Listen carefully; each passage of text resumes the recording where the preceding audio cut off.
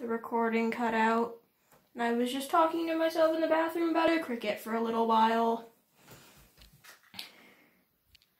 But there's the cricket and he's over there and I'm sitting on the counter because I am afraid of the cricket because they are the one insect that I hate. I do not mind tarantulas. I like worms and centipedes and all of the big things except for big fucking crickets.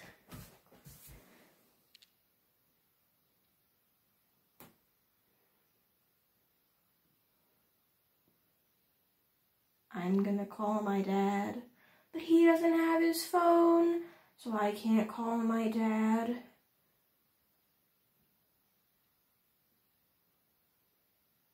Oh no.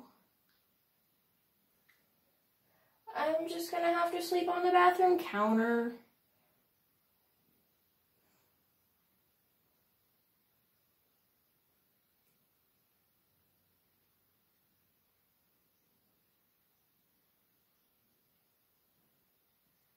I'm gonna try and walk past the cricket to go get my dad, which is the last thing I wanted to do because asking your dad to squish a cricket for you is very sad.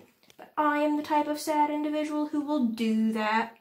I'm gonna slowly, very slowly climb off the counter and make sure the cricket doesn't attack me. If I die from the very terrifying cricket on our floor, at least I'll have it on video.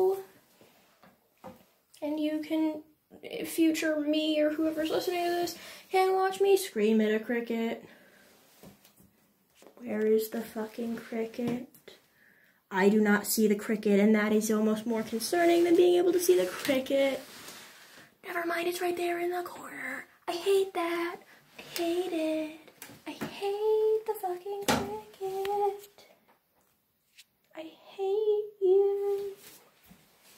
Hate it.